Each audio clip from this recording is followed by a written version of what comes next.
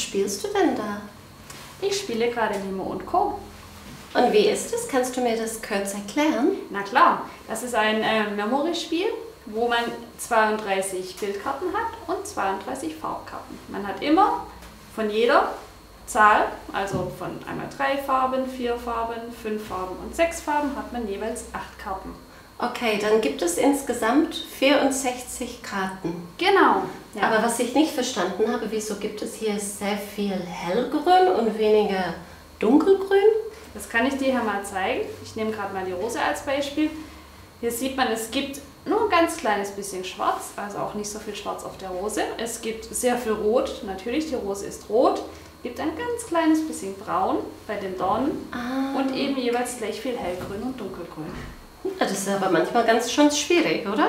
Ja, man kann ja mit den einfachen Sachen anfangen. Also man hat äh, Karten mit drei Farben, die sind einfacher und natürlich steigert sich das Ganze dann und dann hat man auch Karten mit sechs Farben. Und wenn ich nicht weiß?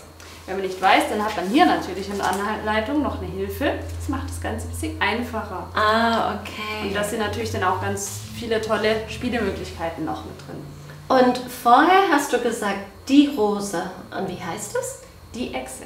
Die Exa. Also für Daddy, das ist es auch ganz gut. Genau, das kann man auch sehr gut zur Sprachförderung einsetzen. Oder auch für Memory, Ja, oder? klar. Sollen wir eine Runde spielen? Ja. Die Exa, die Banane, die Rose, der Schmetterling. So, bin ich mal gespannt. Der Schmetterling. Sehr gut. Die Rose. Super, sehr Hey, gut. cool. Und was sehe ich denn da? Was hast du da gemacht? Ja, du weißt ja, ich erzähle sehr gern Geschichten. Und darum habe ich mir hier einen Geschichtenteller gemacht. Mit verschiedenen Motiven. Oh, erzähl das bitte. Also die Geschichte heißt Die Kirschenfee. Es war einmal eine Fee, die Kirschen über alles liebte. Darum verwandelte sie alle Bäume in Kirschbäume.